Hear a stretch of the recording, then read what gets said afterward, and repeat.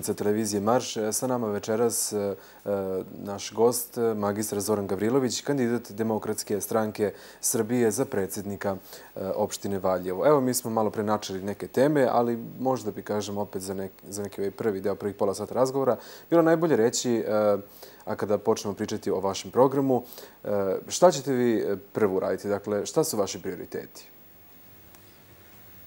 Pa ako me pitate o prioritetima, prvo je prioritet da pobedim da uđem u drugi krug i da postane predsjednik opštine.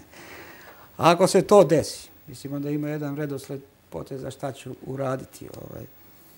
Prvo normalno formirat će se gradska vlada. Zatim trudit ću se, odnosno ta gradska vlada, treba jasno da definiše mesto i ulogu gradske uprave u celokupnom razvoju Valjevske opštine i opština kao teritorijalna jedinica jedne države treba da ima viziju razvoja i inicira pravac razvoja u svetlu novih promjena. Trudit ću se da formiram jedan snažan tip od stručnih, mlađih, novih ljudi. Evo, možda bi... I onda ćemo se ovaj prioritete problema i suočiti i pokušati da ih rešava. Možda bi sada bilo najbolje da se malo pozabavimo diagnostikom. Dakle, e, e, šta su po vama najveći problemi u našoj opštini, opet kažem, na koje ćete vi pretpostavljam krenuti da, da ih odmah e, rešavate? Problema ima dosta. Pored ovog smeća kojim smo zatrpani ovih dana. Prvo treba i kao pojedinci pa i ako i kao nacija da se uozbiljimo. Jer ima dosta problema, navešću neki od njih. Velika nezaposlenost, privreda je u stanju kolapsa, sela su nam ostarila i ostala pusta, socijalnih slučajeva je sve više, visoke cene proizvoda komunalija, sve veća razlika između potreba i mogućnosti po, put, po pitanju budžeta. Zatim tu je jedna lepeza problema vezana za grejanje, energiju, aerozagađenje, evo sad imamo i ovu najnoviju sa deponijama, sve je više obolelih od teških bolesti i tako dalje i tako dalje. I sve te problemi nam se dešavaju u vreme snažne, ja bi je to upotrebio tu reč, turbulencije, ekonomske, političke tranzicije, malo pre što sam vam bio rekao, ovaj, pričao. Da, ne znam, evo, naveli ste neke probleme, da, ali šta mislite o ovim aktualnim poskupljenjima koje su se dogodila proteklih meseci? Činjenica je da ste vi e, jedna od vladajućih stranaka. Mislite vi da se to neće negativno odraziti e, po rezultat? Mislim, mislite na povećanje cena komunalije ili na bazi... Na sva povećanja cena koje su se dogodila ili, prethodnih meseci.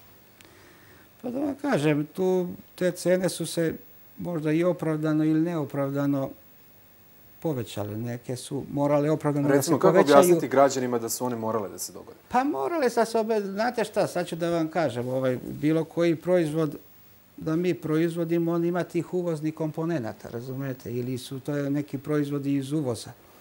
Ako to skače cena tim proizvodima, odnosno sirovinama u inostranstvu, normalno to će se odraziti i kod nas ali možda ima i tu i dosta neopravdani neki poskupljenja, razumiješ, nešto što gdje ne učestvuje ta ino substanca, razumijete, pitanje vode ili tako, mislim, sad neću da navodim, sad ne znam koje, na koje sve cene te povećanja misliti ili neki komunalija, to bi možda moglo da se vidi nekako da se koriguje, da se prilagodi trenutnom stanju, odnosno mogućnostima finansijskim građana.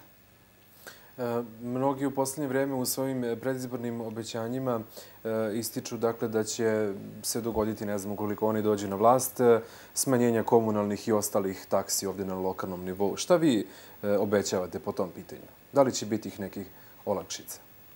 Pa sad ću da vam kažem, ovaj, ja nisam učestvovao u toj vlasti.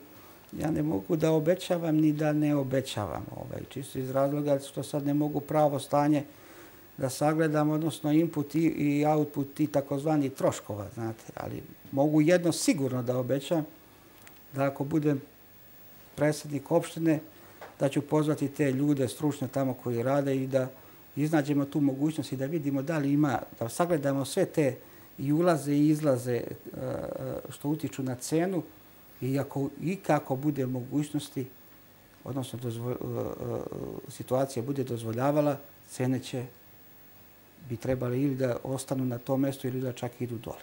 Eto. A da sad ja obećavam, jer da vam kažem, nisam učestvovao i ne znam te ulaze i izlaze, troškovni, taj troškovni koji je. Ali ću se svakako truditi da, da cene budu što niže. Što Naročito, recimo, e, privatni preduzetnici se nadaju nekim e, olakšicama. Kakav je vaš e, program po pitanju razvoja privatnog preduzetništva u Valjevu? Koliko ćete vi na njemu insistirati? Pa ja ću insistirati dosta. E sad, da vam kažem, sad ja ovdje napravio mali preduvod. Kad ste pomenuli privatne preduzetnike, ja bih počeo ovako. Ko je sve na ekonomskoj sceni u Valju? Imamo privatne preduzetnike koji svoju poslovnu aktivnost iskazuju kroz formu radnje, udruženja i zadruge. Imamo mala i srednja preduzeća. Imamo društvena preduzeća.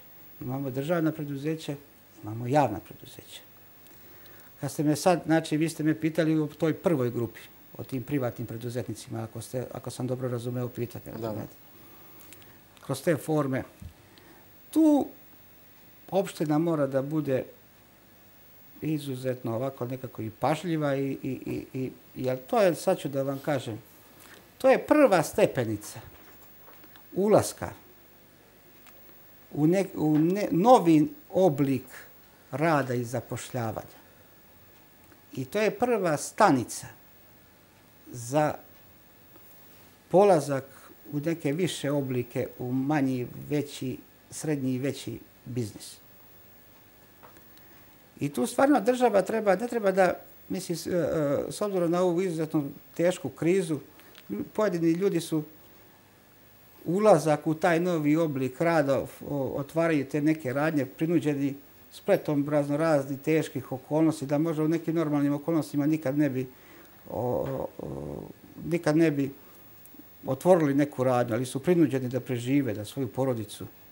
I tu i mora država sa tim nekim porezima dočeka kao onaj koji šiša, razumijete mi I tu bi možda trebalo vidjeti koliko sad to opština može... Zbog toga i pitam, zar im ne treba pomoći kada su već prinuđeni na tako nešto? Treba to sam mislim. Znači tu nekako država treba i stimulativno i korektivno sa svojom administrativno-fiskalnom politikom da djeluje.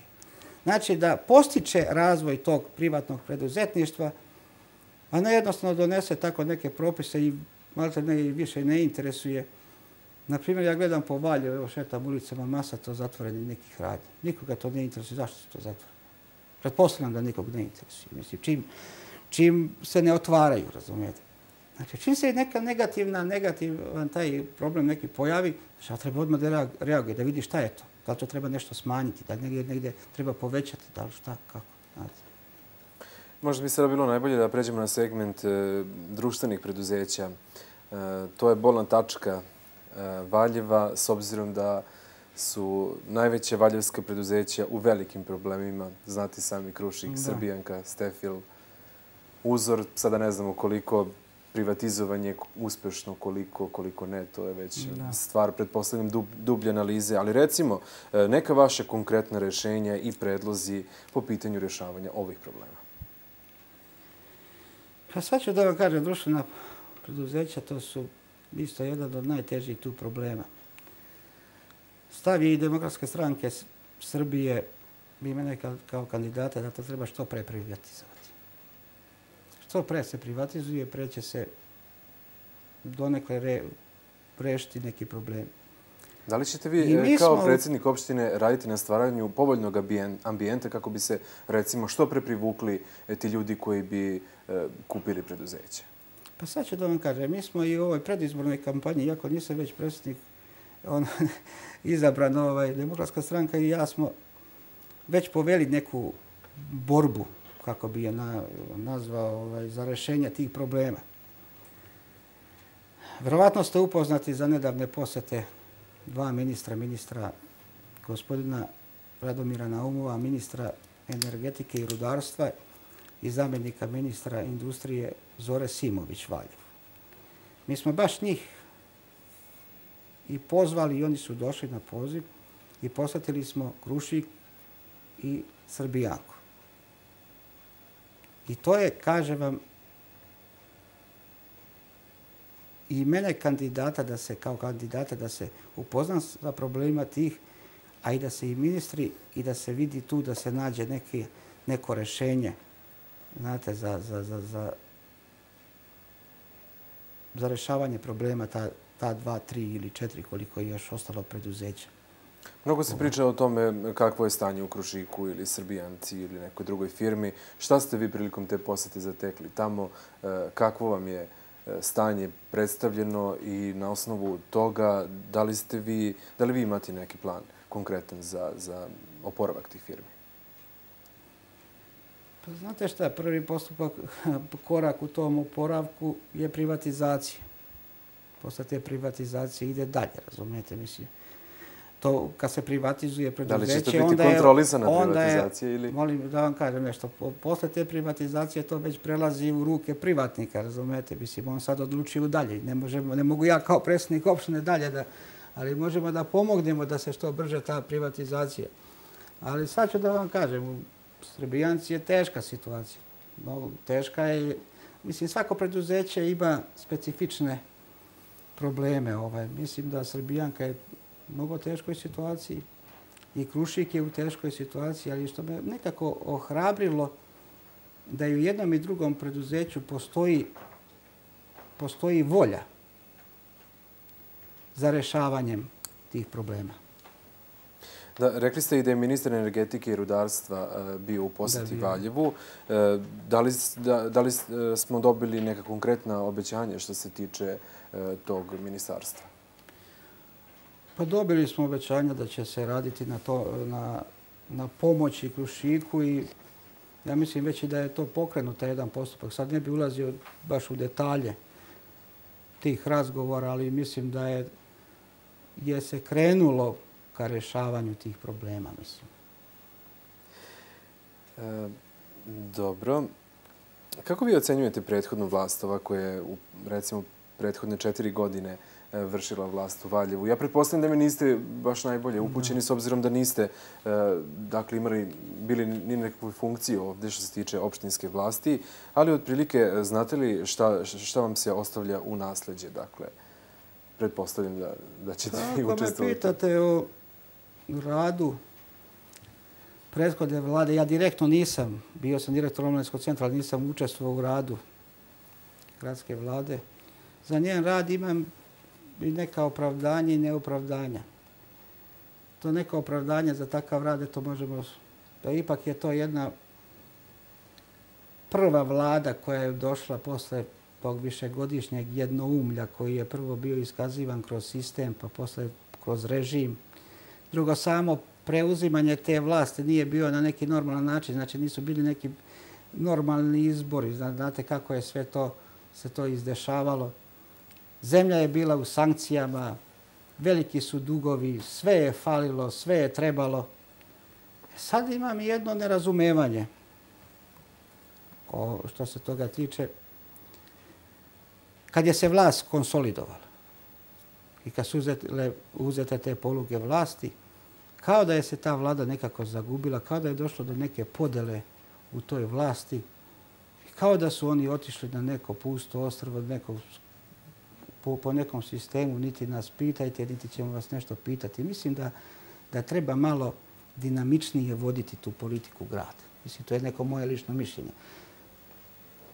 S obzirom, e, kako ste rekli da je to e, prva demokratska vlada posle dužeg vremena u Srbiji, e, da li se... Posle 50-60 Da li se samim tim i opravdavaju neke greške? I sad ovo sam samo još teo da kažem, verovatno taj je gledalac teo sa aspekta omladinskog centra ja moram da istaknem da sam zadovoljan jer ja sam uspeo da animiram i da dobijem podršku za rekonstrukciju i adaptaciju e, e, e omladinskog centra. Prema tome, sa tog aspekta sam i zadovoljan.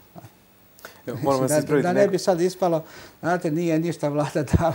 Mislim, uspeo sam za tu omladinu da nekako... Čini mi se da ste nekoliko puta rekli demokratska stranka. Nije demokratska stranka, nego demokratska stranka Srbije. Dakle, magistra Zoran Gavrilović je kandidat DSS-a za predsjednika e, opštine Valjevo. E, recite mi, vi ste magistra ekonomskih nauka, pa vas smatram izuzetno stručnim po tom pitanju. E, kako ćete vi stimulisati proizvodnju u Valjevo? Kako ćemo mi stimulisati proizvodnju. To je mnogo široko pitanje kako ćemo. Recimo uopšte na pa, Prvo razjasnimo jednu stvar. Ovaj. Eh, do sada je eh, država bila, znate i sami, aktivan učesnik u proizvodnji. Sada ona više nema tu ulogu. Znate, po novim tim pravilima igre.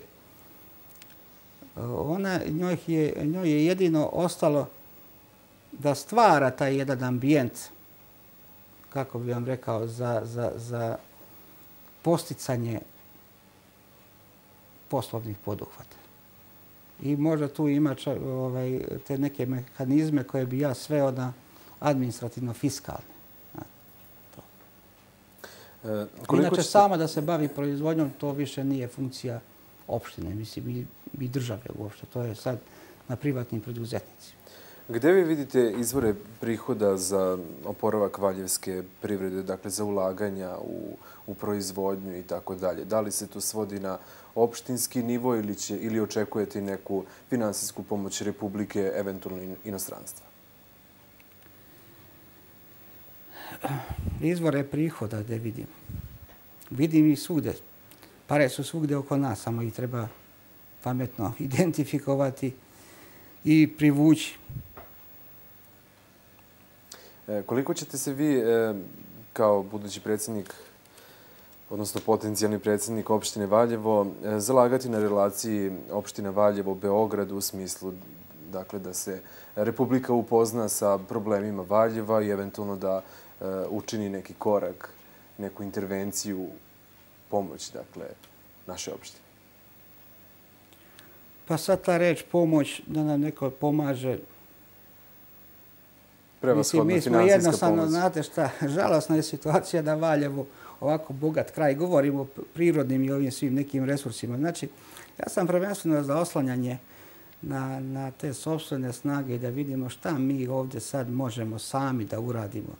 A ima je ono jedno pravilo, pomogni sam sebi pa će ti posle i Bog i svi pomoći. Znate, mi treba ovdje da vidimo šta možemo da, da uradimo, da pomognemo, kako da nešto pokrenemo. I normalno posle toga će stići pomoć, nazovi me tako pomoći, jako pomoći ne? i iz Republike, iz inostranstva, i od donatora, i od svih ovaj, tiha. Da li ću poznavati Republiku sa valjevskim problemima, mi smo to već evo, kroz ove dve posete ministra, ministara i učinili. Oni su to već znali, ali mi smo ponovo... Da, evo, vreme odmiče. E, dakle, vreme je da pogledamo još jedan blok reklama.